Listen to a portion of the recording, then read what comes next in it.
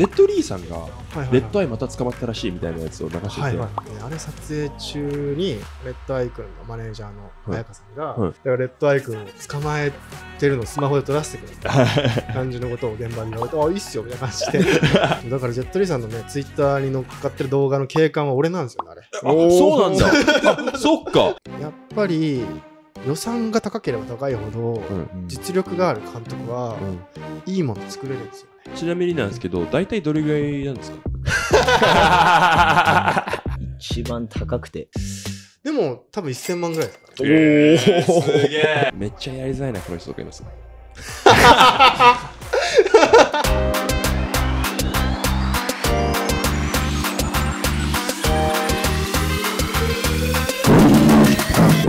はいということで今回のゴールデンラッシュポッドキャストのゲストは悪党の歌リミックスなどで知られるミュージックビデオ監督の彼日本でもねなかなかトップでね頑張られてる大河みなみさんですお願いしますお願いしますよろしくお願いします南大河ですよろしくお願いしますお願いします。お願いしますいや、俺はもう個人的に超嬉しいんですよ。ずっと見てたんですよ。ミュージックビデオ。ありがとうございますマジで。だからやりたいなと思ってて。いやだからね、そのお話もらった時めちゃくちゃ嬉しかったですね。そのあディレクターにはい焦点当ててくれるのはやっぱ、なかなかないことなんで。そうですよね。そうそうそう。だから個人的にもめちゃくちゃ嬉しいなっていう感じでここに今座ってます。嬉しいです。いや、なんか俺らもやっぱヒップホップ業界を盛り上げたいっていうのはすごい大きいし、若者業界を盛り上げたいっていう中で、やっぱミュージックビデオも、その、ヒップホップの文化の一つだと思うんですよね。間違いないです。で、俺がもともと映像畑が来てるところがあるんで、それで俺めっちゃミュージックビデオディレクターをめっちゃ追ってるところがあるんですよ。うんうんで、タイガさんを俺ずっと見てたんで、ちょっと今回は本当に声かけさせていただいて。いや俺を、俺に声かけるとなかなか面白いですけどね。いろんな人がいる中で俺をチョイスするのって、はい。なんか、うんちょっと頭おかしいですよね。いい意味で。そういい意味で嬉しい。嬉しいっす、でもい。ろんな人がいて、はいはいはい結構なんか、なんだろうな、なんだろう、オーソドックスなやつも作るんですけど、はい結構際い、際いじゃないけど、うん割と攻めうんたやつも作るんで、そなんかね、その中で俺をね、いろんなディレクターいる中で俺っていうのがちょっと嬉し嬉しいし、まあちょっと面白いなみたいな。う。変な変なセンスの持ち主なのかなあ。そうかもしれないですね。でもそれ嬉しいっすね。ナイスなあ、ですか。センスの持ち主なのかなって俺は思います。はえいそれで言うと、だからその、悪党の歌のリミックス、うんレッドアイさんとはいはいはい DO さんの、あれはね、やばかったっす。やばかった。あれやばい。超好きっすね。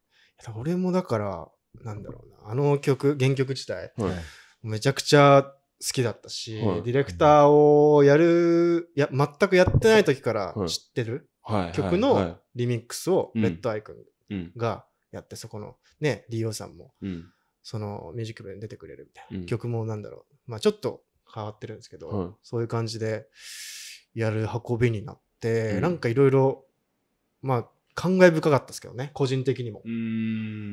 全くそういうことやってなかった時代からすると、はいはい。その悪党の歌のリミックスをね、うん。やるって、なんかディレクターやっててよかったなーって思ったえー。一つの映像ですね、あれはいはいはい一つ気になってたんですけど、それこそ一番最初のシーンとかも ガーシーさんから入るじゃないですか。そうですね。あれはどういう感じの流れで。どこ入ってるかわかんないですけど、うんそもそも、うんその、原曲の MV は、そのミュージックビデオ、あーミュージックステーションはいはいはい。をパロってるんですよ。あー一番最初の導入で。はいはいはいで、それっぽいことを今回もやりたいねっていう話になって、じゃあ何っつったら、やっぱ YouTuber じゃないみたいな。うんあー、なるほど、なるほど。はいはいはい。で、えっと、最初は、えー DO さんがガーシーさんのモノマネをするっていう構成だったんですそれ面白そうですね。それもちょっと見たかったで、なんか、あの感じのセリフを言って、なんはいかやばいやつがいるから晒していくわ、みたいな感じはい。でミュージックビデオが始まるっていう構成だったんですけど、はい。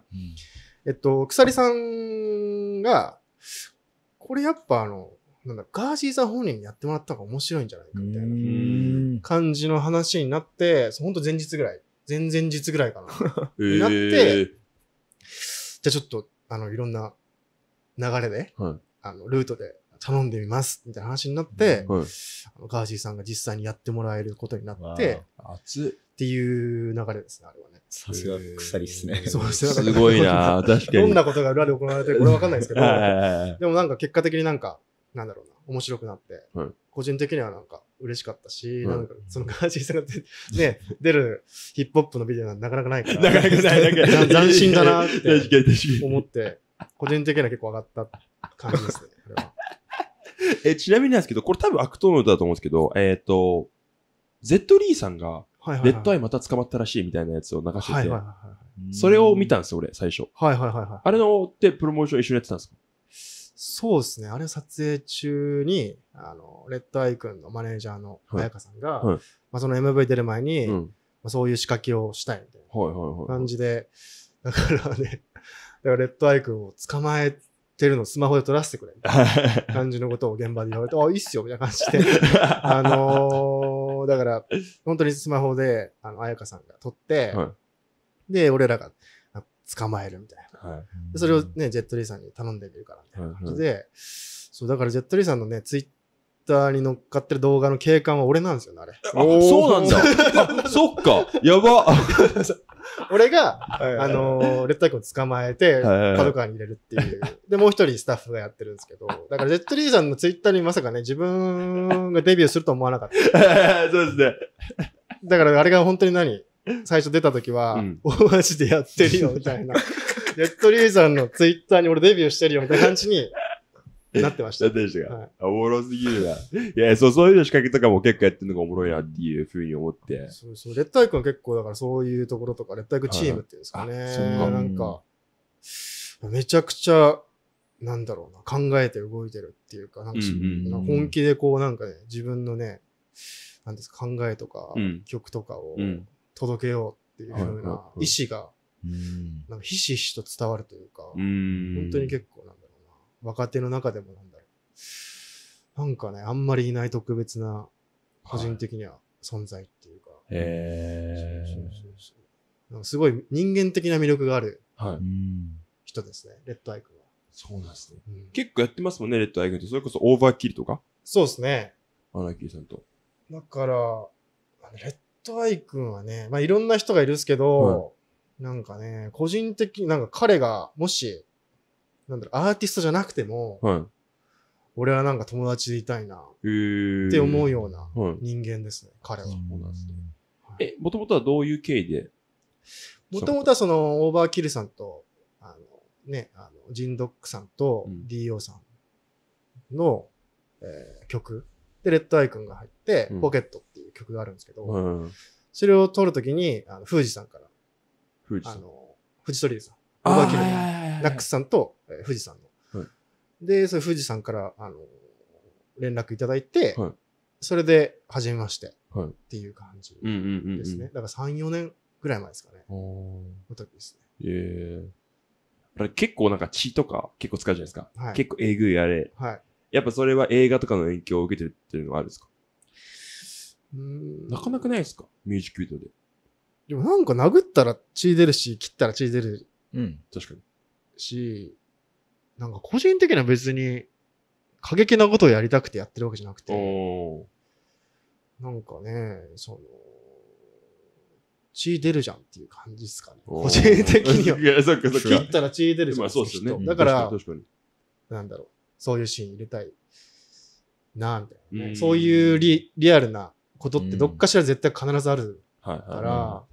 ミュージックビデオの中でその映画的な描写をしていきたいので、うんうんだから必然的に、ね、そういうシーンがあったら血が出るよっていう。感じで描いてるっていう感じですかね。なるほど。はい。俺、すげえ気になってたシーンがあって、あの、オーバーキル、雨降ってるところあるじゃないですか。はいはいはい。あれ、本物なんですか？本物の雨？ポケポケットさあ、ん。ポケットかな？ポケット2ですかね。あ、ポケット2アナーキーん。さんとの。そうです、そうです。あれ本物の雨ですね。あれ、本物の雨なんだ。土砂降りで、こうなんかもうね、結構さ、なんだろう、ヒップホップだと全然ありなんですけど、はい。めちゃくちゃ雨降ってて、えー。でアナーキーさん、ね、出てくれて、はいめちゃくちゃなんか、最初気まずかったっすね。この雨の土砂降りの雨の中、歩いてもらわなきゃいけないのかみたいな。いでもなんか全然、その演者の方々はなんか全然そんなの、全然なんだろう、いいよ、みたいな感じで、うんなんか快くやってくれて、うんあの、結果的に雨降ってよかったなって思った撮影なんですけど、うんまずカメラマンとかはマジできつかっただろうな。まあ、そうですよねって。思いますね、あれは。え、あれ、あれですか？ビニールつけて？そうですね、カメラにビニールつけて、はい。あの守ってって感じですよね。で、出る側は直前までこう、なんか傘とか差してて、はいはいはいでもまあ、あの、傘差して成立するシーンは傘差してるんですけど、うんうんうん微妙な時は、ダサいなと思った時は、こう傘なしで、みたいな感じで、雨に濡れてやってもらってるってうん感じです。すげえな。なかなかハードじゃないですか。ハードですよね撮影とかは撮影はもうめちゃくちゃハードなんで、そうですよね。あのー個人的に自分の現場は割とハードじゃない方あ、本当ですか？だと思いますね。うんうんそれこそ12時間ぐらいで、なんだろう、終わるうん。はい。撮影がおお、12多いんですけど。時間も確かに。12時間とか、まあ、朝から夜までとか。うんうんうん。でもやっぱ、ね、第一線とかでやってる人たちとか、めちゃくちゃこだわる人とかはやっぱ24時間撮影とかあって、ザラ、ザラなんで聞くと。そうなんだ。自分もたまにやったりするんですけど、はいはいはいはい。だからめちゃくちゃハードだし、体力とうんメンタルと、でね、いろんな大人がいるし、そうですね。ね、第一線でやってるアーティストとコミュニケーション取らなきゃいけないし、そうですね。めちゃくちゃハードですね。うん まあそれが楽しいんですけどね。はいはいはいはいはい。自分は。え、ちなみになんかやつの中で一番これやべえなと思ったハプニングとかあったりした？んですか撮影中の。ハプニングですか？はい。ハプニングはね。ヒヤッとした瞬間とかいや、まあ、そうだな。ええいやあるっすけどね。たくさんあるっすけどね。うーん。でも、運がいい方なんで、なんかその、うん割とこうグレーな撮影した時でも、はいなんだろうな。お咎めなしみたいな。あのちゃんと許可もね、取る時もあるんですけど、うん あの、ちゃんとお咎めなしでずっと終わってきてるんですね。でも、はいなんだろうなうーん、なんかその演、えーなんだろうな、演者がやっぱりこう、なんだろう、ヘロヘロな時とかさ、あね、たまにやっぱあるんで、今でも。撮影不可能みたいな。現場に来た瞬間から、あこれ撮影できないじゃんっていう。そういうのもあるんその演者がもうヘロヘロで、あの何やってるかわからないですけど、意思疎通もできないみたいな感じうんの状態の時が一番割ときついですかね。とりあえず満喫とかで、あの休んでもらって、2、3時間とか休んでもらって、うんとりあえず撮れるシーンから撮ろうかみたいな。まあそっからその撮影のプランをうですよね。考えてきてた撮影のプランをはい一から現場で考え直すみたいな。うんで、こうやってこうやってこうやって、こうしてこうして、まあ、ギリいけるかみたいな感じでやるみたいなのが一番きついですかね。はいはいはい。うんあ、そうっすね。もうよくわかんない状態で来る人とかもいるんですね。撮影に。まあまあ、本当稀ですけどね。ああ、そうですか。ごくごく稀なはいはいはい。あのパターンですけど、うん。たまにたまにいるんだ。あります。みんないい人たちです本当にいい人たち。みんないい人たちなんで、あの、基本的にマジでみんないい人たちですね。いい、そうなんですね。そうそうそうそう。だから別にそんなね、うん。あの怖い人とか全然いないですね。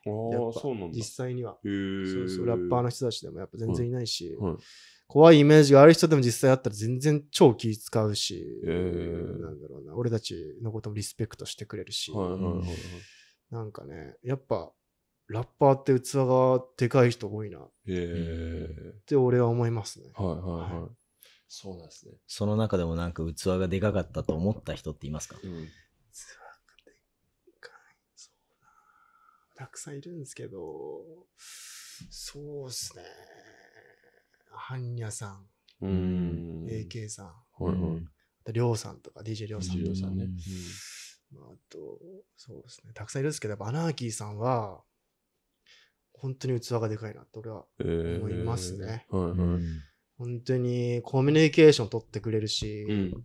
なんだろうな、こっちのやりたいこととか、はうんあの意図、い。うん。そのクリエイターの思いうん。みたいなところをめちゃくちゃ組んでくれるんで、ええ、そうなんだ。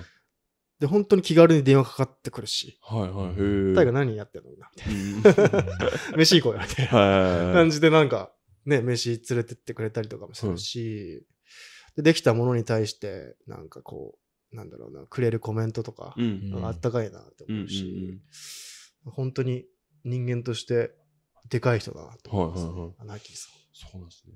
ええ、そっかそっか。そっか。まあ、いろいろハプニングがあると思うんですけど、めっちゃやりづらいな、この人とかいます？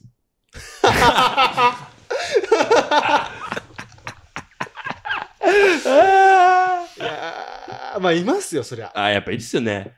うんまあそ結局人あの相性なんで、そうですよね。うんそのもうもうもう作る以前の人間としての相性みたいな。はいはいはいへえ、ちょ、待って待って待って。待って待ってこれ名前を言った方がいいんですか？いや、全然どっちもいいですよ。でも、なんか、えー、待って待って待って待って。P してもいい。し。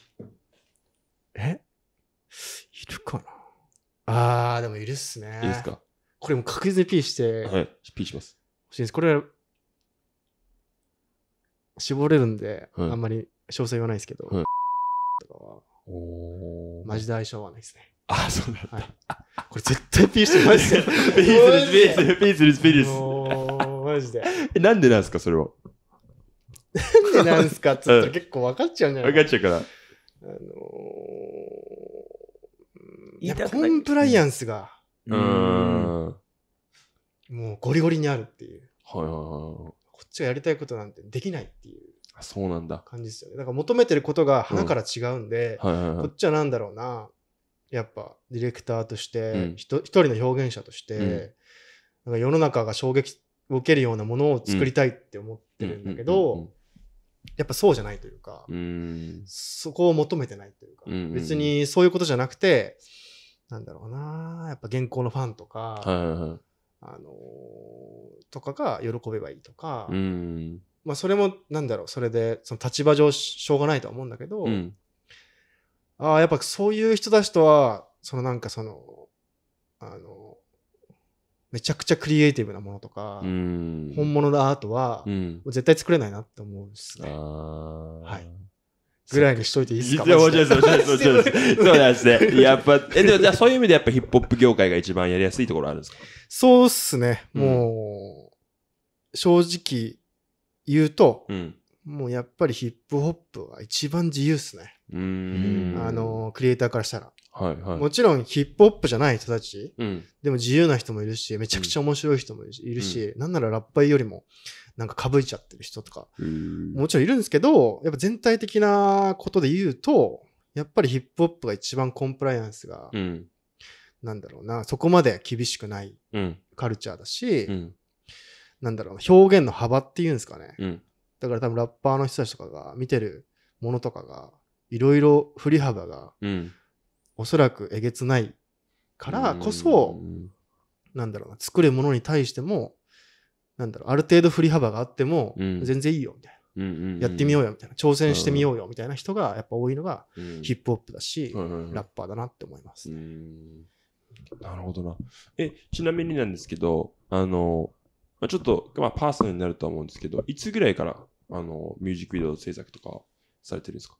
えーっと、2018年の冬ぐらいですね。お4年ぐらい前ですね。4年ぐらい前なんですね。そうそうそう。その前は？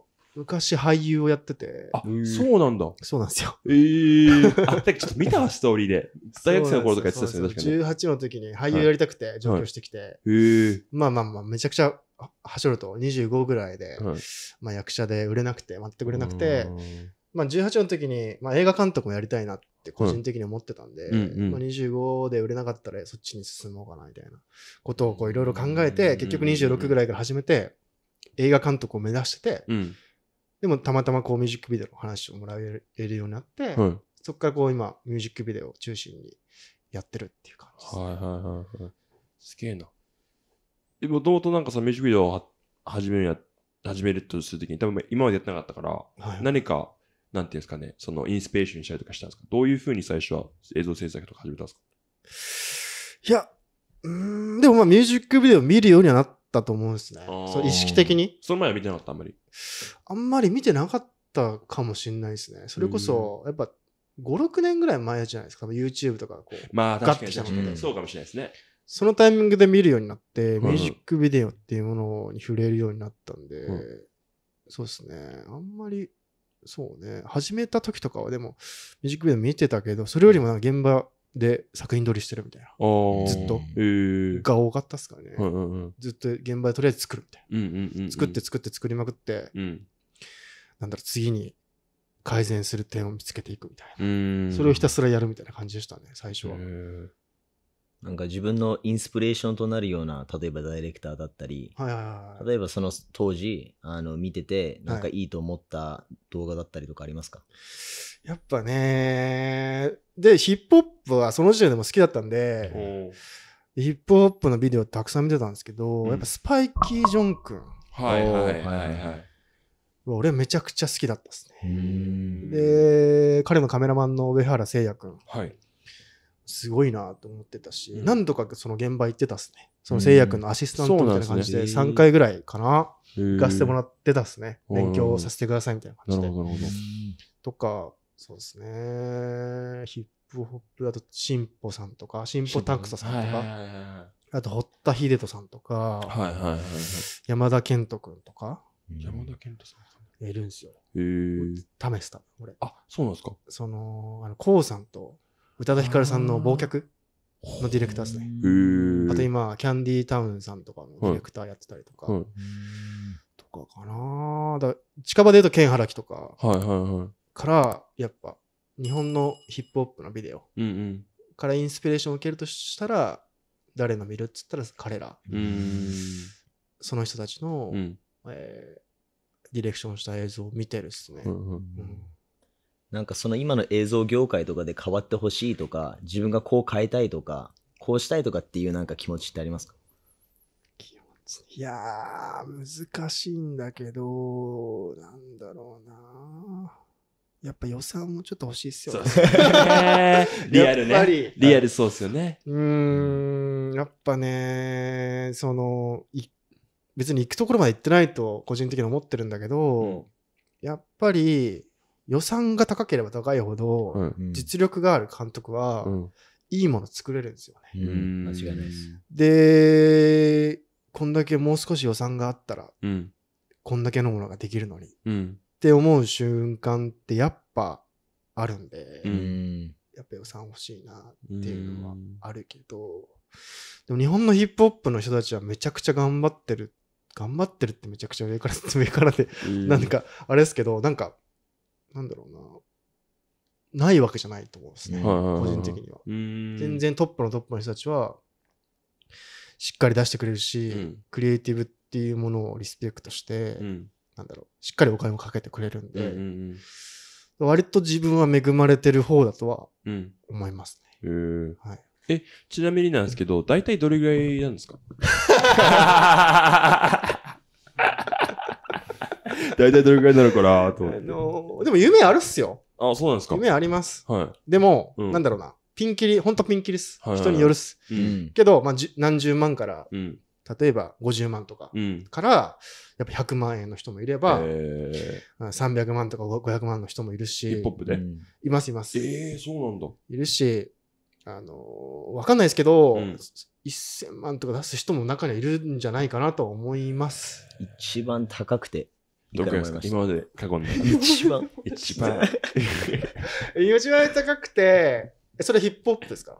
いや、もうなんか仕事上。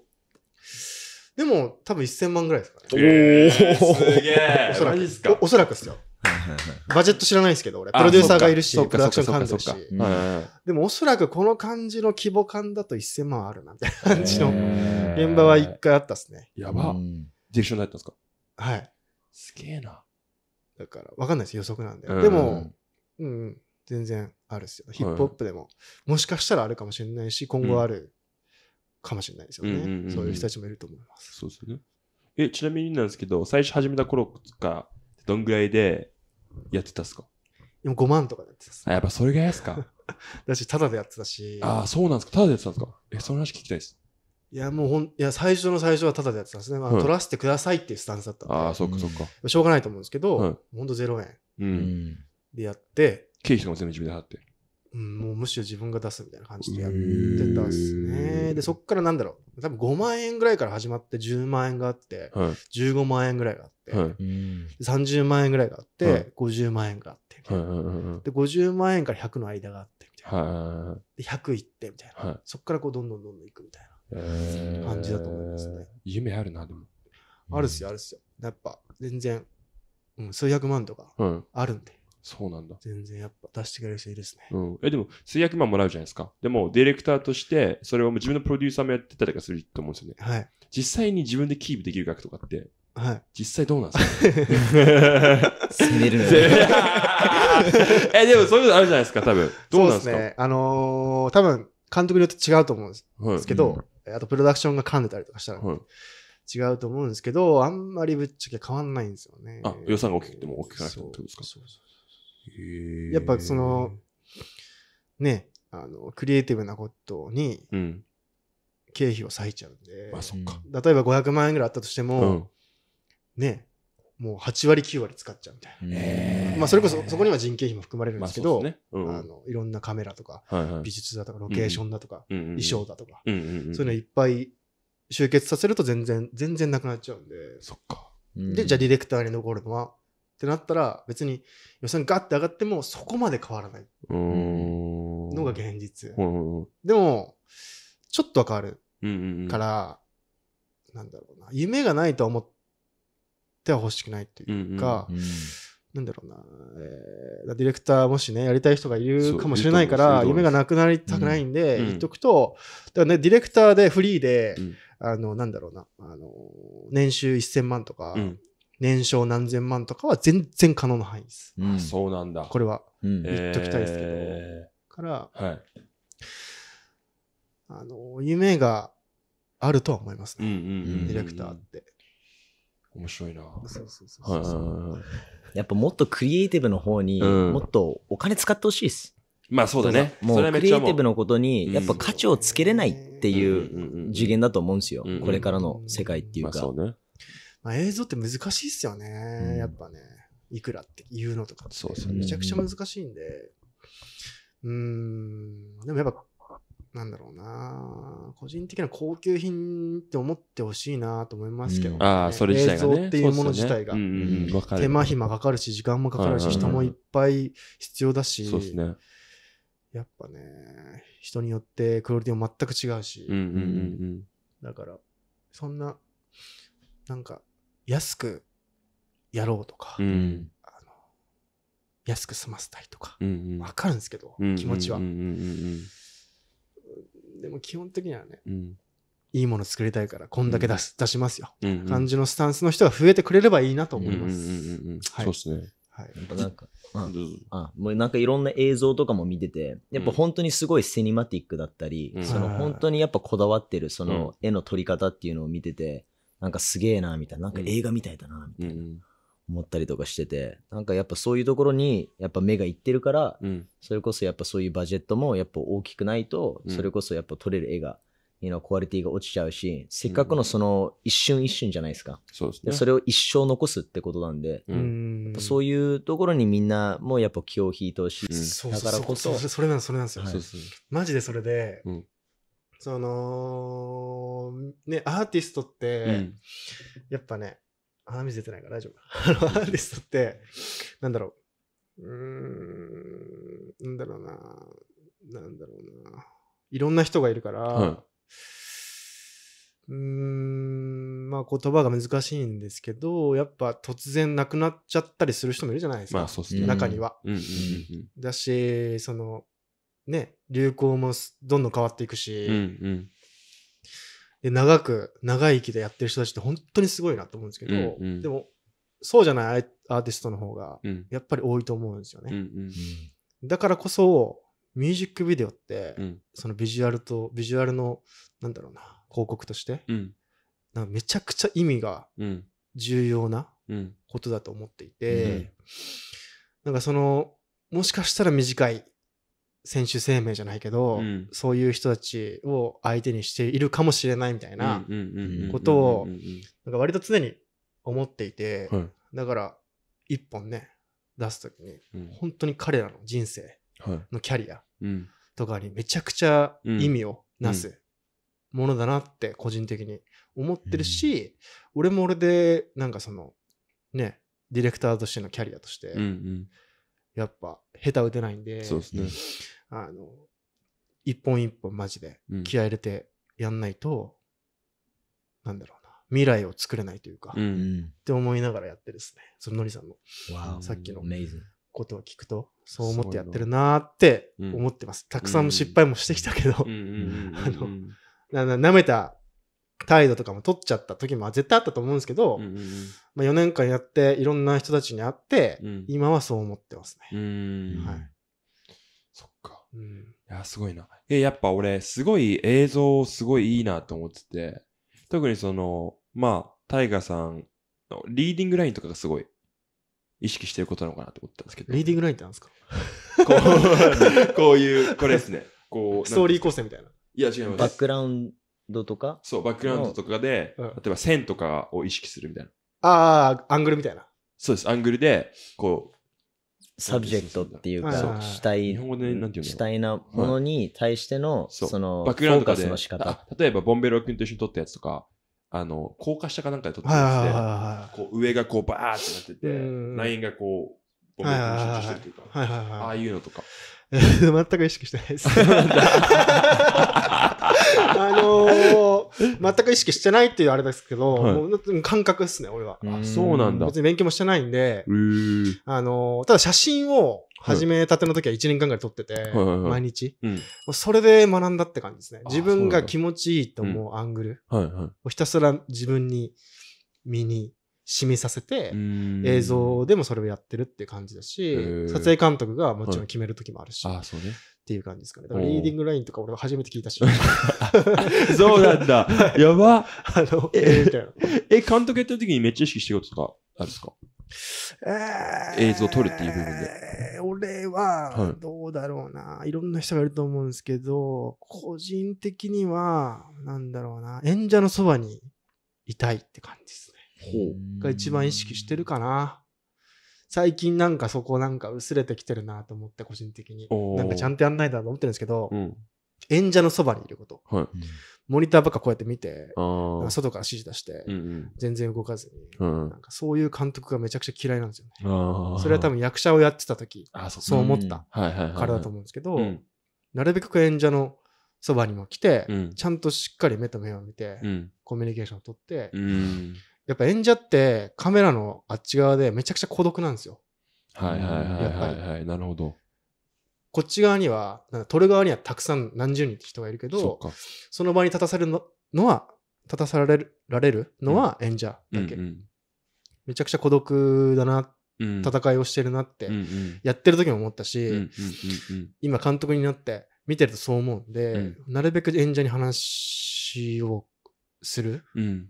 じゃないけど、ディレクションの意図をちゃんと伝える？うん。みたいなことは大切にしてるっすね。うんうんうん。かな？えだからクオリティとか、いろいろあるんですけど、うんそれぞれリーディングラインとかいろいろあえ。るんですけど、ええーっと、俺はその演者のそばにいる、え時間をうんなるべく作るみたいな。うんうん。なかなか難しい時もあるんですけど、はい。それが一番大切にしてるから。おーやっぱすごいな。ディレクターって感じなんですね。うん多分リーディングラインとかまでって言っちゃうと、多分撮影監督の域なのかなって思うんですよ。そうですね、多分どっち。かというと。そうですよね。多分。え、自分で最初撮り始めた時とかは、はい。全部自分でカメラも握ってやってたんですか？そうですね、最初は全部、ほんと一人で全部やってましたね。全部物を運ぶし、はいわなんならアーティストも一緒に持って運ぶみたいな。二人でややるみたいな。そっかそっかそっかこ。っちでカメラ回して、こっちでスピーカー音つけるみたいな。で、なんだろうな、こんな感じで、みたいなやってやるみたいな、わーみたいな感じでやってましたけど、最初は。大変でしたね。めちゃくちゃ大変だし、ロケハンとか、あの、いろんなはことをやって、い。うんうん。そうですよね。無理してました。なんかこれから例えば映像クリエイターとしてなりたいっていう子たちだったりとかも絶対いると思うんですけどなんかそういう子たちになんかあのまあその経験上からなんか言えることだったりとかありますか？自分的に個人的に知りたいってうーん、もうなんかいろいろあるじゃないですか。技術とか、センスとか、才能とかうん、うんうんうんあの、コネとか。はいうんいろいろあると思うんですけど、まあ結局なんか、結局それかよってなっちゃうかもしれないんですけど、もう結局、情熱っすよね。うんマジで。もう、精神論ですね。ううんん。最後は。うんうん自分がなんでディレクターをやりたいか。うんなんで自分が表現者になりたいかっうんていう核うん。みたいなところをしっかり胸に秘めて、うん。ただひたすらやる。長期的な目標があって、みたいな。うん。まあ情熱？そこに向かう情熱みたいな。うんうんもう結局それが一番大事ですね。そっちだ。マジで。はいはいはい。はいうん。その長期的なゴールだったりとかありますか？うん俺はもう結局映画をやりたいんで、ん。ミュージックビデオももちろんこれから先もずっとやっていきたいんですけど、うん。なんだろうな。うん。やっぱね、映像っていうもの、映像っていうね、表現を通して、うん。やっぱり少しでもなんかこう、社会とか、うん。なんだろうな、偉そうなこと言うとなんかその世界とか、うん。そういうものにいい影響をうん。与えたいって思って映像をやってるんで、うん。映画を作って、しっかりこう、社会のリアルを切り取って、うん。それを見てもらって、うん見た人たちがこう考えてくれて、それが何かしらどっかしらで、いいさ、うん。ムーブメントとか、なんか、バイブスとかが生まれて、世の中が少しでも良くなったらいいなって思ってるんで、うん。長期的な目標で言ったらやっぱ、そういった意味で一番リアルな切り取りができる映画を作りたいなっていうふうに思ってますね。ねそれはいつぐらいできるかとか、なんかある程度。始まってるんですかもう始まっ、もう今年というか、まあ30なんですけど、うんうんそれでもうやっぱやんないとなっていう。一番最初に始めたのが結局結局そういうことはいはいはいがあって始めたんで、え、脚本書いて、ほぼほぼ、まあ、形にはなってて、えーそれを今ずっと準備してるっすね。はいだから3年後とかに公開する予定なんですけど、あ、そうなんですね。だからもう会社を建てようと思ってます。そうそう、映画を作るために。はい。うんあ、そういうことか。だからまた何千万とか借金をして、わかんないですけどね、うんうんうん状況が。でも来年、ずっとずっとその準備をして、うん来年、え再来年の頭に撮り始める。はい。春ぐらいから、春かな、ぐらいから撮り始めて、2025年の春に公開するっていうような動きで今やってるっすね。長編ですか？2時間ぐらいの長編ですね。わー、すげえなあ。え、結構もうチームメンバーとか集めてきてるんですか？いや、そこまで集めてないですけど、うんチームは多分、現行で俺とやってくれてる人たちんうんを中心に、まあ声もかけてないけど、うん声をかけるつもりで、はい役者のキャスティングの方を微妙に動いてるって感じですかね。ああ、そっちの方だ。うん。やっぱキャスティングとうん。プロモーション、うん。あとは脚本が面白いかどうかうんうん。さえ担保すれば、はい。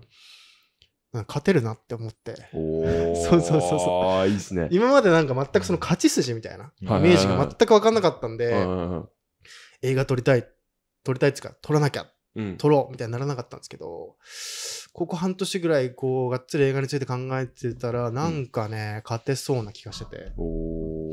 だから、今はとりあえずキャスティングを動いてるっすね。主演をまず決めたいなっていうあ感じ。あ、それ重要ですね。どうなんですか？え、今回の映画とかは、あの、インデペンデントでやろう、インデペンデントでやろうっていう感じなんですか？それとも、あの、配給会社とかにも売ろうかなっていうのもあるんですか？えー、っとね、完全にインディペンデントでやろうと思ってます。おー、すげえ。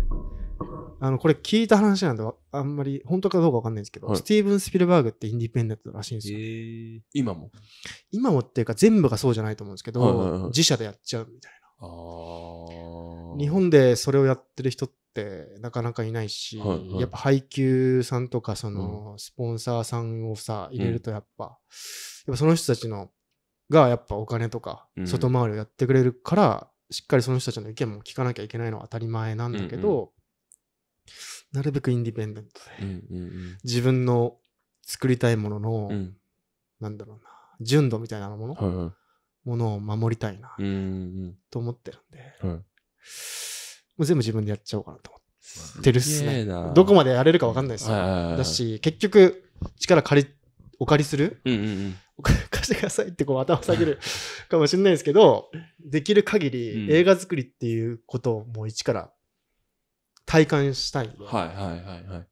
あの、インディペンデントでやります。すげえな。って今は思っててます。思っるです。なるほど。わかんないけどいや、いやでも、キャスティングとか結構俺重要だと思ってるんですけど、はいはいはいなんか日本って、あ、これちょっとディスになんな。ディスになってもいいや。あの、日本の俳優とか女優とかって、なんていうんですか、顔で選んでんの？みたいな感じの人が多いっていうか、演技どうなん？みたいな。ぐるらみたいな。そんなとこないっすか？ないっすかとか言って一緒にディスに入らせようとしちゃってるけど、でもなんかそういうところがあるから、うんてかどうなんだろうと思って。それをちょっとそういうふうに考えてたら俺ちょっと、ちょっと申し訳まあないけど。俺たちも知らない目線からなんですけど、でもうん、その俳優をやっていたっていうことでうん、うん。からの目線はどうですか？えーっと、これからね、映画の世界にね、進出していくっていうところであんま言いたくないんだけど、そうですよね。確かに。あのー、やっぱクソみたいなやつはいっぱいいるっすよね。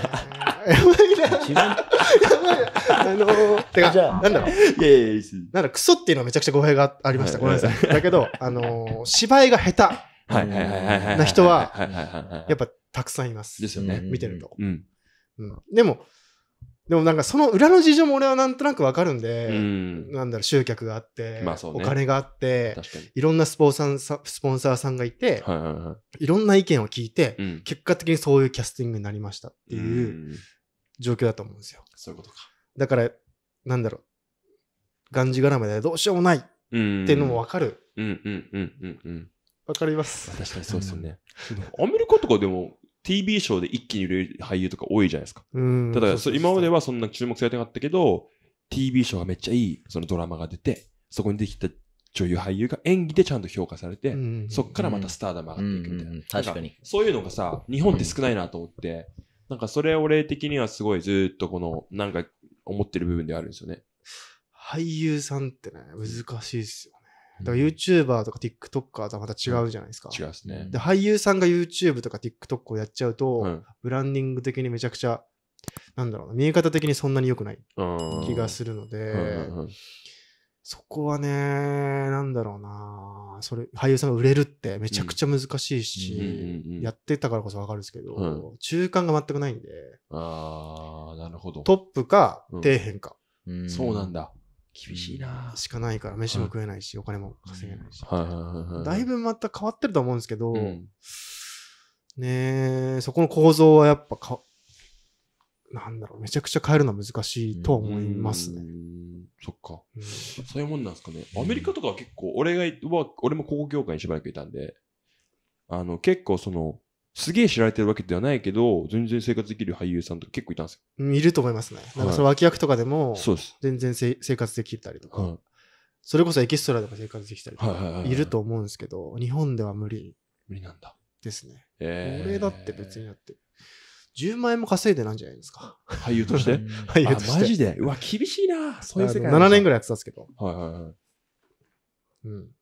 そんな感じですね。えまあちょっとだけ話戻るんですけど、その例えば、その今、そのじゃあ業界を変えることっていうのはじゃあ難しいってなるんであれば、うん。じゃあ自分の例えばプロジェクトに関わる、うん。じゃあキャスティングだったりとかは、うん。じゃあ自分はどういうその目線とか目でこうセレクトしていこうとか、どういうところを見て、例えばピックアップしたいなとか、ありますか、でもやっぱ芝居が上手い人ですよね。うん一番は。うん。あとは、人間的な魅力がある人。うん。全員会おうと思ってるんですけど、これがキャスティングする人たち。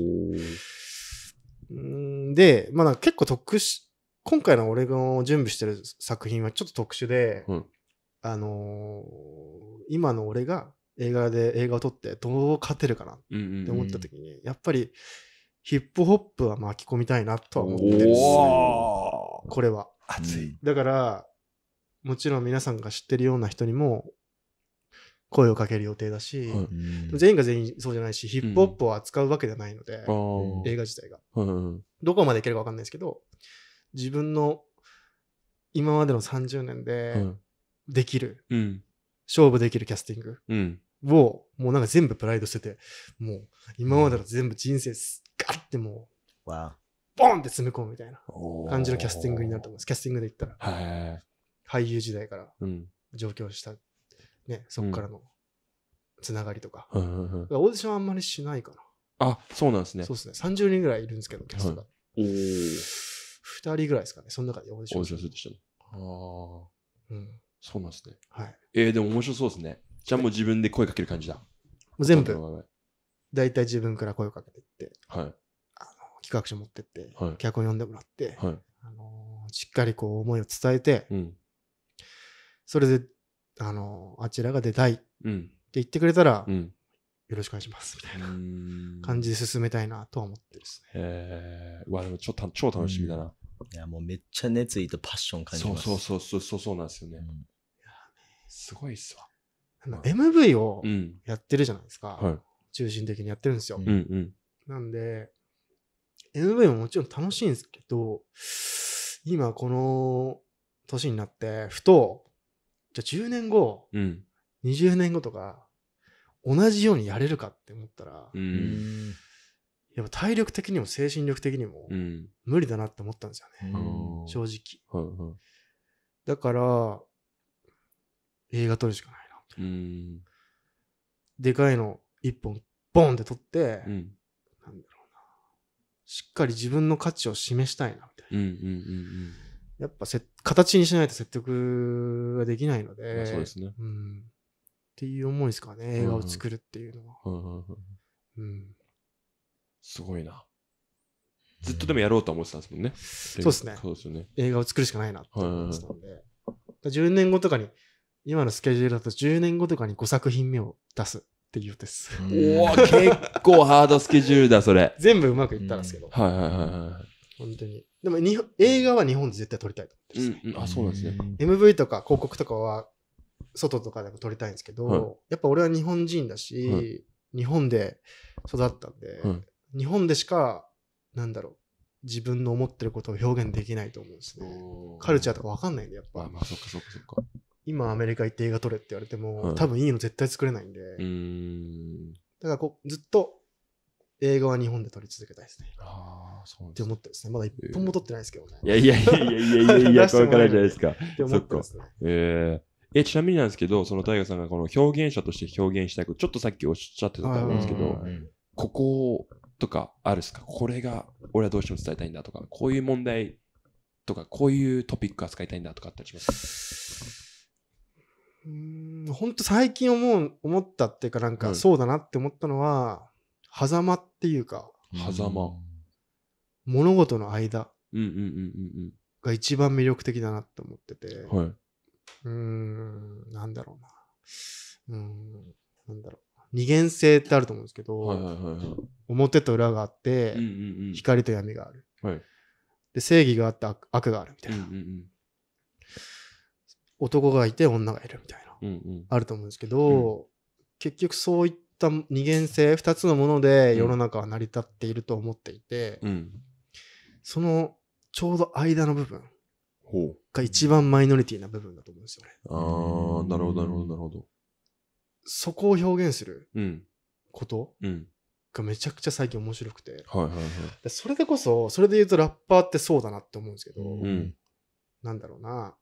全員が全員そうだとは言わないですけど、なんだろう、こう裏の、うん。裏じゃないけど、なんかそういう境遇の人たちが、うん。その、表の世界でうん。活躍するじゃないけど、はい。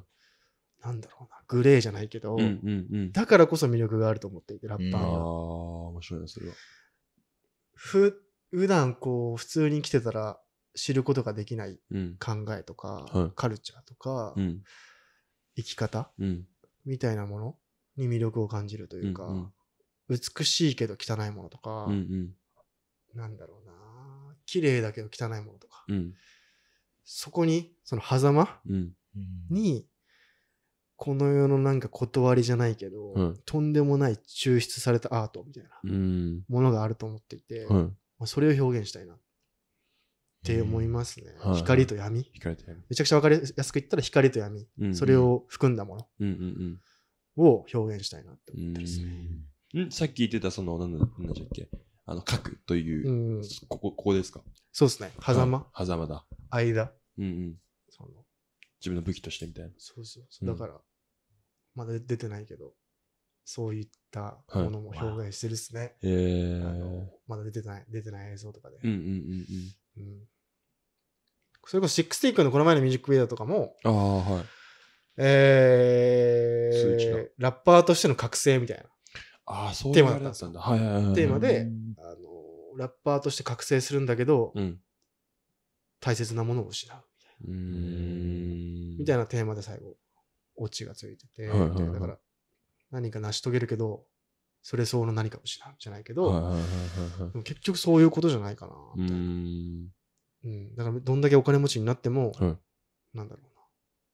不幸せな人がいる。うんうんじゃないけど、そのちょうど間。をずっと描きたいなって思ってやってますね。今。うんうんうん。うん。うんすげえおもろいな。うん。やっぱ表現者って、まあ、まあ、アーティストとちょっと違うじゃないですか。やっぱその、あの、アーティストってまあ曲のアーティストうん。とちょっと違って映像で表現するっていう、その多分部分を聞くとか結構少ないと思うんで、うん。やっぱその言葉の選び方とかも、うん。やっぱすごい、聞いててめっちゃおもろいなと思うし。大丈夫ですか？いや、めっちゃ、いや、俺はめっちゃ楽しいです。最高っす。めっちゃいいっすえーめっちゃいいっす。うんそうなんですよ。そうですね。はい。えちなみになんですけど、ちょっとめっちゃガチでなんかそのテクニカルな話になっちゃうかもしれないですけど、はい。あの、ボケがめっちゃいいなってめっちゃ思ってるんですよ。あー後ろのボケはいはいは。はいい結構こだわったりしてるんですか？えー、なんだろうな。あの、カメラと開放値があると思うんですけど、はいなんだろうな。めちゃくちゃ難しいな。でも開放値があると思うんですけど、それがやっぱ小さいやつ。一うんカメラとして、ボケ？うんうん。がしっかりボケるやつ。うんで、撮り、まあ、単焦点ですね。そうそう。わかりやすくあ言ったら使ってるんだ。はいはい。多分、ズームレンズうん。あると思うんですよね。みんなわかると思うんだけど、うなんかその、こう、ズームできるレンズ。はい。カメラでこう、そうですね。1個でいろんなアングルで撮れるやつ、うんうんじゃなくて、ズームできないレンズうんうん。を使った方がいいというか、うんうんうん。なんだろう、そっちの方が高級感があるうんうんうん。と思うんですね。うんうん。あとは、アナモレンズはい、が俺は一番好きで、はいまあ、映画のうん。アングルでしっかり撮れるやつ。はいはいはいはい。そのちょっとこう、横に長いというか、うんうんうん上が切れてるうんうんうん。のが映画だと思うんですけど、はいあれは、あのーレンズによっては、それを編集で切らないといけないんで、うん。けどアナモレンズで撮ると、それをしなくても、そのまま撮ったものがそうなってるっていううんレンズが一番俺は好きうんだし、ボケ味とかも一番好きです。はいはいはいアナモレンズ。アナモレンズ高くないですか？ナマラ。高いです。めちゃくちゃ高いです。ですよね。ですね。すごいなと思うんですね。あ、でもレンタルしてるっすよ。あ、もちろんもちろん。それは買えなくないですか？何百万とかするじゃないですか？多分。何千万する？し何百万ってします、何百万ってしますよね。高いやつは何千万ってすると思う。そうですよね。うんすごいな。機材まで結構こだわってるんですか？やっぱそういう意味では。機材はそうですね。なるべくシネマ、あの、カメラうん。で撮るようにしてるっすね。はい。だからレッドとかうん。うんで撮るようにしてますね。基本的には。でも、最近またソニーいいなって俺は思ってますね。おー。なんだろうな。うん、質感っていうんですか？はわかりやすいというか、一番。い。うーん。うん色がはっきりしますよね。そうそうそうそう。レッドとうんかアレクサとかが超高級な、うん。なんだろう、寿司うんっていう、すると、ソニーはめちゃくちゃうまいステーキみたいおー感じ？はいはいはいな。はい。伝わるっすかね、これ。いや、わかんないけど。伝 俺は伝わってるっすよ。ちなみに。え伝わってる？まあまあ、まあまあもうそのカメラのことにはこう映像関係はあんまりわからないけど、写真は撮ってたんで、なんかレンズとかはわかりますけど、またレッドとか、まあ結構そっちの方に行ってくると、俺も全然わかんないんで、勉強してるって感じですね。わかりやすく美味しいみたいなうんはいはいはい。まあ本当に推測でしかないですけど、あと世界のトレンド的にも、多分ソニーなんですよね。それこそブラックピンクさんのはい。最新のミュージックビデオとか、はわかんないですよ。はい。わかんないですけど、俺はソニーで撮ってると思います。ああ、マジですか？う。んどれ撮ってんだろう？わかんないけど FX ね。なんとか？わかんないですけど。はいはいベニスとか、ベニスか。はいはいとかで撮ってんじゃないかなーって思いますねうー。ん。だし、なんだわかりやすいですよね。あの、多分、素人の人が見ても、あ、クオリティ高いっうん。て思うような絵がうん。撮れる。はいはいはいはい。特にミュージックビデオとか、うん。わかりやすくうん。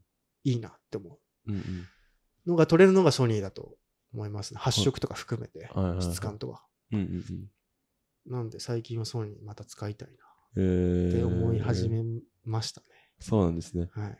え、ちなみに結構カラーとか DOP 別でやってるじゃないですか。はい。自分でやったりもするんですか？自分でやるときもあるっすね、たまにはお。でもね、やっぱ自分でやりたくないですね。やっぱちゃんとカラーリスト入れたいし、うんあのちゃんとプロの人に色うんもコントロールしてほしいなと思うっすね。そうですよね。そういうふうに分けれるようになるのって結構大変でした？やっぱそこまで行くのにどんぐらいかかったんですか？いやー、やっぱ3ぐらい、3年ぐらいかかったんですよね。あやっぱカラーリスト入れるのって、やっぱは、それなりにバジェットがないと無理なんで。ですよね。うん。だからそんぐらいかかりましたですね。はいはい3年ぐらい。そっか。今、カラカラーリストとか、まあ、すげえ俺個人的な話になっちゃうな、これは。カラーリストとかをこの雇うっていうのを、結構、その、カラーリストにいなきゃいけないと思うんですよっていうのを、プロダクションとかに、なんていうんですかね、あの、説得するのって難しいのかなっていう風なわかんない。でっかいとこは違うのかなバジェットによるっすけど難しい時は難しいですね。ですよね。やっぱカメラマンさんにやってほしいとか、はいはいはい。ディレクターがやることももちろんあるし、うんん、でもなるべくカラーリスト入れるようにしてますね。うんうんうんでも難しいですね。ですよねやっぱバジェットによるんですけど、はいはいはい。そこ渋る時もありますね。うん。その状況によるんですけど。はい。ちなみになんですけど、カメラマンとかめっちゃいると思うんですけど、このカメラマン、ディレクターとして、このカメラマンはいいなって思うところとかあったりします？こういうカメラマンは一緒に働きたいとか。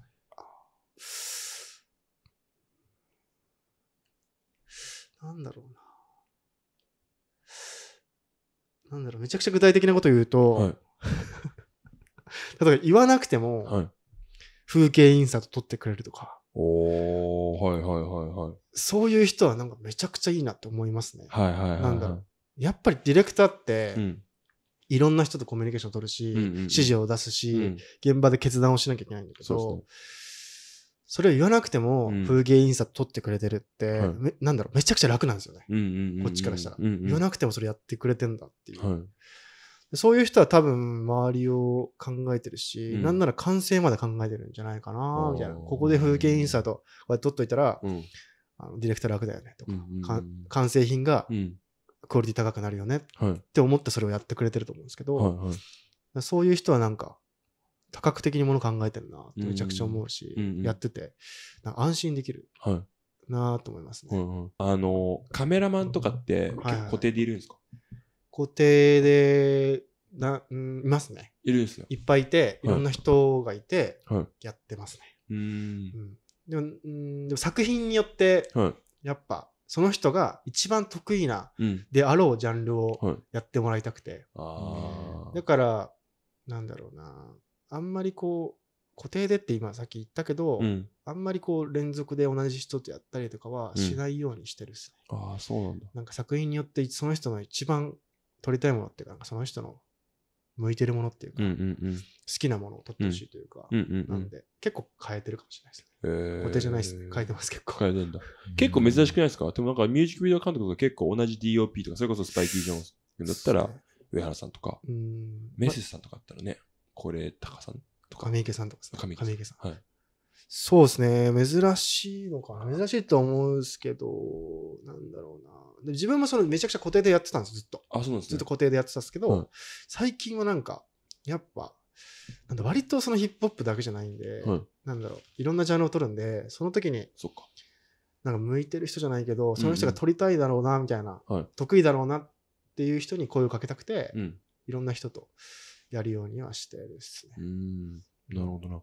え、ちなみになんですけど、まあちょっとリールとか見させてもらって、結構そのヒップホップのミュージックビデオ以外も撮ってるなと思って、はいはいはい。広告とか。はい、そういうのって、ミュージックビデオをやり始めて、そういう広告をやり始めた感じですか？それともそ、広告とかやってて、そこからミュージックビデオに行ったって感じなんですえー、ミュージックビデオやっててですね。かあ、やっててなんだ。でもあんまり俺広告ないっすよ。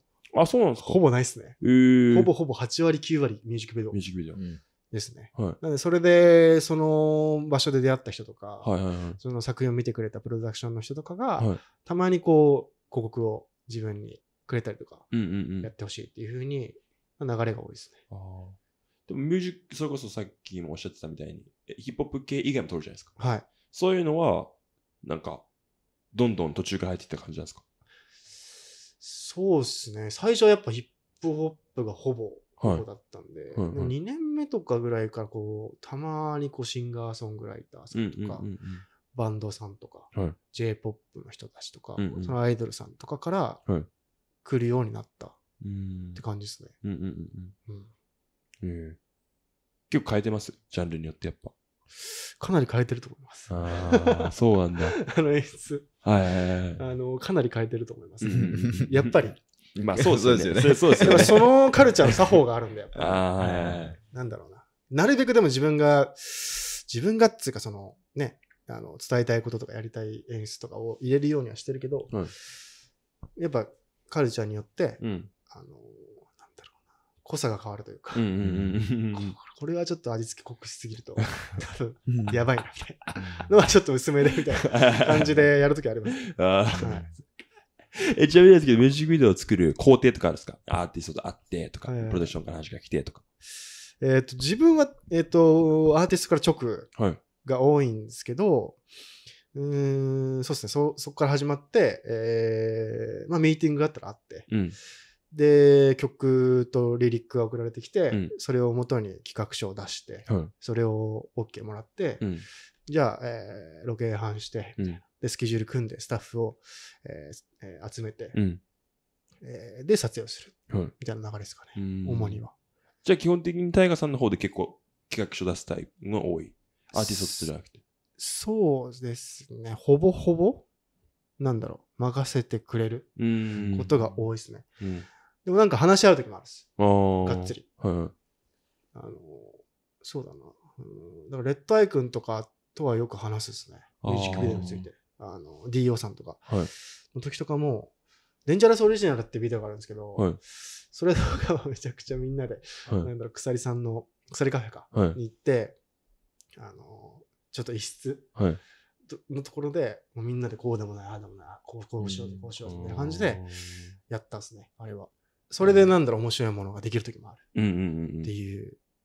うん、でもコミュニケーション取った方がやっぱ面白いものできるっすね。ああ、やっぱそう。なんですか。と思いますね、最近は。うん、ないっすか？そのあ、なんか自分はこうやりたいけど、アーティストがこう、いや、これじゃないんじゃないかな、みたいになって、やりづらかったとかしないですか？まあその、ジャンルによってやりづらいと思うんですさっき、この間、さっきも言ってたのもあると思うんですけど、いや、ありますよ、もちろん。ありますか？もちろんあるし、あの、自分はこれがめちゃくちゃいいと思って出したけど、はい。あの、あっちは全く違うイメージを持ってたりとかはあるんで、やっぱり事前にやっぱいろいろ確認はしないとな、うーん。とは思うんですね。何,、うん何回もやって思うんですけど、た必ず、イメージないって言っててもう、ん。一回話したいなっはいはいはい。て思いますね。だかうん。らそういう、そういうなんだろう、ボタンの掛け違いが必ず起こるんで、え、これ全然違うんだけど、はいはいはいはい。今そういうテンションじゃないんだけど、まあ、やっぱありますね。あいろんなそのパターンの中で逆にその任された方がいいとか、はい。またはそのはい。例えば向こうがちょっとアイディアがあった方がやりやすいとか、自分のやり方のスタイルでそのやりやすいやりづらいとかそれこそ頼まれた方がいいとか全部任してくれのスタンスなのか、うんまたはちょっと準備してきてほしいとか、基本的には、あの、全部自分に任せてほしいんって思ってるし、ディレクターは、なんだろう、映像のプロなんで、うんあの、で、映像の表現っていうものを特化した人たち。だから基本的には全部任せてほしい、うん。とは思ってるし、そうあるべきだとディレクターは思ってる。うん。けど、うん多少なりともなんか、なんか意見があると面白いと思うんですね。うん相手に。うんうんうんうん。なんかその方が、なんだ自分が思いつかないこととかやっぱ思いつくんで、はいはいはい。基本的には任せてほしいっうんそんな予感がしました。うん。だし、それぐらいあの任せたいと思われるようなディレクターでありたいと思ってるですね。うんうんうんうんうんはい。なるほど、なるほど。ちなみになんですけど、ビデオのインスピレーションとかってどこから来るんですか？えー、どっから、えー、うーん、4パターンぐらいあるかな。4パターンぐらいあって、はいまず曲うん。の曲調とか、はあのまあ、曲自体から曲を聴いた瞬間にうん。イメージが浮かぶっうんうんうん。ていうのと、あとはリリック。はい。例えばなんか、なんだろう、なんだろうな。道を歩いてる、なんでもいいんですけど、うんうんそういうリリックから、なんだろう、着想を得て、うん。そこから広げていく。うんうん。あとは、えー自分あ、全く関係ないものを引っ張っていく。小説とか。映画とかはいはいはいはい。ですかね。うん。あとは、あともう一個何 だったっけ？あともう一個何だったっけ？あともう一個何だっけ？えー、えー、えー、えー、あ、あ、そう、ただ、はい。あの、ほとんど俺ないんですけど、はいあるか。あやるときもあるんですけど、はいただかっこいい映像を撮る。うんうんあの、まあ、イケてる映像を撮る。うん。うんうん。この4パターンではすかね。い。いで、着想を得て、うんインスピレーションをもらって、もらったりとか、自分の中から生まれ、生まれさせたりとか、うん。で作るって感じうん。かな ?4 パターンですね。はいはいはい Yes, sir. メモってる、メモってる。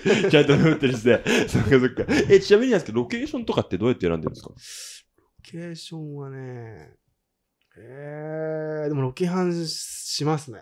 あ余裕があるときは。あ。はいはいはいはい。全く時間にも予算にも余裕がないみたいな時はしない時もあるんですけど、うんロケハンして、なんか、こういう企画があって、こういう場所欲しいから、うんみたいな感じで、本当に車乗って、うんみんなで行って、ああでもない、こうでもないっつって、うんいろんなこところを探検して見つけるみたいなうん感じですね。はいはい。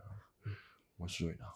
めっちゃなんか、なんかこの場所とかめっちゃいいロケ、あ、言いたくなかったらあれですかもしれないですけど、はいはい。この辺とかいいロケーションめっちゃあるんだよなとかあるんですか？えー、でも自然系だったらやっぱ静岡とか千葉とかはいはいはい。はやっぱ関東からもアクセスしやすいし、はい。めちゃくちゃいいところがあると思うんですね。静岡、千葉。へえー、なんで都会系とかだったら東京ってやっぱいろいろあるし、え。はいはい。個人的になんか撮りたいのは大阪で撮りたいなっはいはい。て思ってるんですよ、最近。今までないですか？大阪とってもあるっすけど、大阪、あ、あるっすね。うんあるっすけど、まだまだなんか、ディープな場所があるなって思いますね。うんなんか行くたんびに。はいはい。うん。かなはい。ですね。えーちなみにあの、今まで撮ったミュージックビデオの中で、一番好きなビデオとかあったりします？一番好きなので。個人的に。え全部ね？えー、まあ全部好きですよね。全部好きだよ。そりゃそうだわ。そりゃそうなんだけど。めちゃくちゃむずいですね。でも、いや、めちゃくちゃむずいな。えー、めちゃくちゃむずい。別になんか数字で1番、2番とかじゃなくても、うんなんか自分個人的に思い入れがあるとか。そう、そうなんか。思い入れがあるのは、あの、コロナ禍の真っ只中で撮った、はいうんハンニャさんとのうん俺たちの曲が流れてるっていうはいはいミュージックビデオがあるんですけど、はいそれとかめちゃくちゃ気に入ってるっすね。えーなんかこう、なんだろうな。その、なんだろう、情報に感染するっていう設定なんですよ。ミュージックビデオが。で、ゾンビ化していって消えていくみたいな話で、はいはいはいはい。あのざっくり言うと。うん。みたいな感じで撮って、本当に、なんだろう、えー映画を一本撮るぐらいのはい。気持ちで撮ったんですけど、それはめちゃくちゃ気に入ってるんですね。はいはいあとは、やっぱ最新のもの、うん。60君の通知。はめちゃくちゃやっぱ気に入ってるし、うん。なんだろうな、いっぱいありますよ、それはそれいっぱいあるっすね。たくさんあるっすね。あるけどはいはいはいそんな感じですかね。はいはいはい。うんちなみに1個取って、次に、あの、やりたいなとか、結構あると思うんですけど、はいどういうところ、結構自分の作品いっぱい見るっすか？あ撮ったやつモチベーションを上げたいとき見るですね。あ、自分の作品。はいはいはいはい。今までやってきたものを確認するじゃないですけど、はいはいはい。それを見て、なんだろう。あ、俺はこういうものを作ってきたから、この先はこういうものを作りたいな。みみたいな感じで見ることはあるっすうんうんうんうん。うんなるほどな。そっかそっか。まあちょっと長期的な目標、まあさっき映画作るってことは言もう言っちゃったと思うんですけど、はい。それ以外になんかミュージックビデオディレクターとして目標だったりとか、こう、ここを目指してるとかあったりします？あの、多分ね、多分南大河ってね、多分知らない人いっぱいお、いっぱいだと思うし、アーティストとかうん。の方々でも知らない人いっぱいいると思うんですけど、もう、なんだ早く気づいてほしいですね。俺にに。俺に気づけですね。そうですね。あのめちゃくちゃうざいと思うんですけど、うざいっていうかなんか自意識過剰かなとも、自信過剰かなと思うんですけど、いやいいもの作れるんだよっていううんうんあのその辺の、その辺っていうか、なんだろうな、日本っていう、うん。うん。日本のミュージックビデオの業界の中でも、うんうん。あの、めちゃくちゃトップレベルのものを作れる自信があるし、うん。それなりの、それなりのっていうか、なんだろう、あの、いい感じのバジェットがあったら、はいはいはい。あの、世界にも通用する映像を作れると思うんで、うん。だから、ヒップホップで言うと、例えばですけど、はい例えばなんだろうな、エイビッツさんとか撮りたいっすよおーとかは、いゾーンさんとか撮りたいし、はいはいはい。でもやっぱ、あの人たちは、あの、あの人たちのつながりとかもあると思うから、うんうんうんなかなか難しいと思うけど、そういう人たちのもやりたいし、うん日本のトップレベルのアーティストのミュージックビデオも撮りたいなっうんうんうん。て思ってるし、5年後とかは外に出て、うん。それこそアジアとかうん。で、あのミュージックビデオとか広告は撮りたいな。へって思ってるんですねね。そうなんですね。そっか。海外も視野に入れて広告もやりたいなってのもあるんだ。あるっすへねー。もう韓国とかで撮りたいですね、俺。おとか、アジア。インドとか面白そうですけどね。インドね。5年後とかに。い インドってヒップホップカルチャーあるんですか？や、どうなんだろうわかんないですけどね。ちょっとあるっぽい。ちょっとあるのかなわうんかんないですね。でも逆にその、あの、音、うんインドのその音とかはいはいはをもっとリミックスとかサンプルとかで使ったら多分絶対熱いと思う。俺もそう思うですね。まああると思うけど。うん。まあ、あと、それこそアメリカとかではい。撮りたいですね。5年後とかにはうん。うんうん。うん映画は日本で撮りたいです。映画はずっと日本で撮りたい。うん。海外で撮りたいではない、全く。